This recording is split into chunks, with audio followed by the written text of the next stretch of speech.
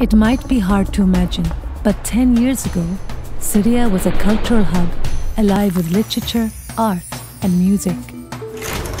Before the war, healthcare and education were free to all Syrians, and people flocked to the country to study medicine, languages, and Arabic literature.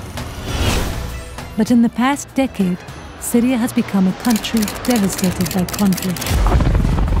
40% of Syria's schools are damaged or completely destroyed, and only nine public hospitals are left standing in the northwest, where most displaced children and families live.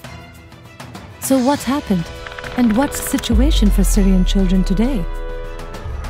It all started in March 2011 with peaceful demonstrations across the country calling for a change in leadership and a fresh new start. But the peaceful march quickly gave way to violence. Warring sides eventually took up arms, violence escalated, and streets, once characterized by sleepy tree lined boulevards, descended into decade long civil war, resulting in the suffering of more than 12 million Syrians.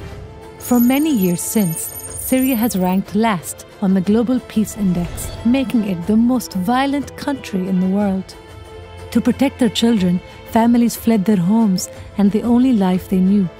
It's now estimated there are 5.6 million Syrian refugees, with another 6.2 million people displaced within Syria itself.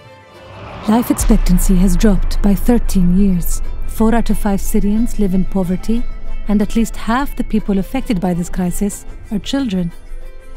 World Vision jumped to respond quickly, beginning with Syrian families who fled to Lebanon in 2011.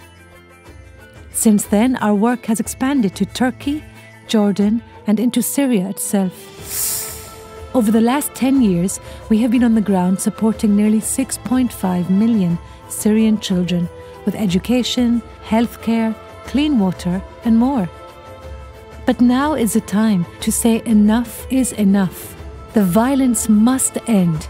Children need to believe in peace again. 10 years of conflict can't become 10 more. Together, we can help Syria's children survive, recover, and build a future